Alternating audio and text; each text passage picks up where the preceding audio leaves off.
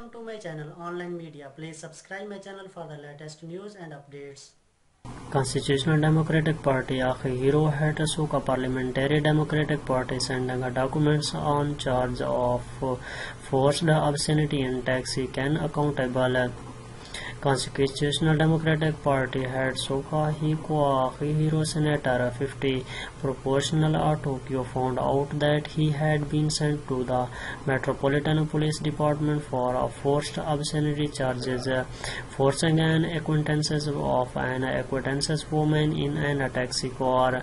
It was Mr. Hatsuka deans the question, but how does Mr. Hatsuka and a Constitutional Democratic Party fulfill accountability only because of the suspicions that may cause the trust of the Diet members to disappear. The suspicion of Mr. Hatsuka was reported in the November 9, 2007 issue of Ashokana Banhero as a dirty liberal constitutional democratic party. A forced obscenity for Akihiro Hatsuka, the Tokyo Metropolitan Police Department began a criminal prosecution earlier this year, and Mr. Hatsuka arbitrarily listened to the circumstances, proceeded with a careful investigation, and sent documents. According to a Banhero article, Hatsuka was forced to kiss an acquaintance woman in May 2015 on the way home from a social gathering and in a taxi running to Tokyo.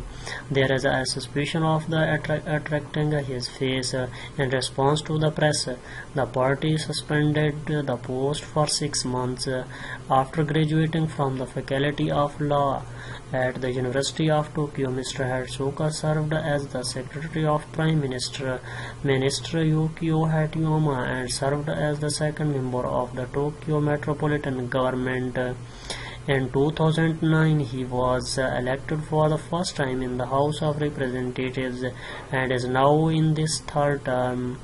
In December 2016, the Weekly Shincho reported on the site where he tried to bring a stage actress to a hotel in Shinjuku and uh, Kabukicho.